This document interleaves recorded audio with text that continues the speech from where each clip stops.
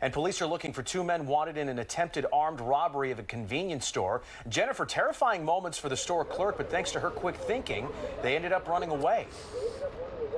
Yeah, they certainly did, and police say they got out of there empty handed. Thankfully, that clerk was not hurt, but there's a lot of fear that these gunmen may come back. He spoke to us on the condition we keep him anonymous.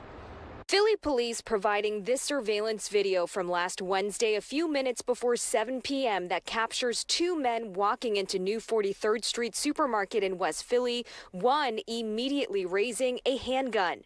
Answer people, the criminal, the gun. And the other pulling out a shotgun from the black trash bag.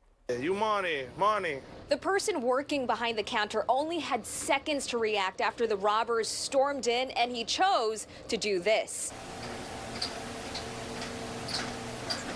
The clerk, who the gunmen keep pointing their weapons at behind the counter, didn't want to show his face, but shares what he believes spooked the criminals out the door. De un apparat, uh, apparat, the closed door. He says he was holding something that looked like a weapon and started closing the gate over the front door. At the moment, it's very difficult. Yes, it's scary. I am the vacation here.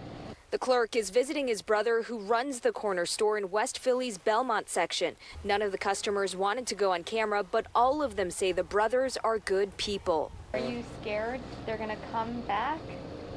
Uh, yes, they're defending my brother. The suspects wore all black and white gloves, one of them in a distinct life coat jacket with the word progressive on the sleeve, and a black backpack with a yellow square and stripe. Investigation, the people, criminal, is the folk. I see the, the camera. Mm-hmm. Yes, in the investigation, the criminal case. As a safety measure, the supermarket is now closing two hours earlier at 6 p.m. If you have any information about this incident, Philly police say to reach out to them. Shiba and Jason. Jennifer, thank you.